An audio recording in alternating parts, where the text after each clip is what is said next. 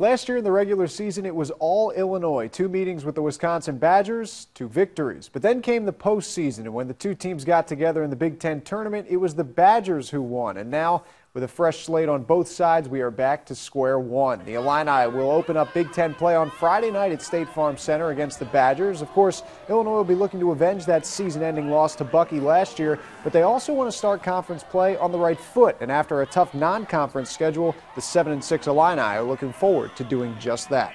I feel like um, we're, based on our practices, we've been doing really well, and um, we're pretty excited about this. We're going to get in, into Big Ten. It's a fresh start. Everyone's, oh no, just to come out and punch. Just to go get it. It's exciting. It's tomorrow. like, it's here. So I think this is what we've been um, preparing for.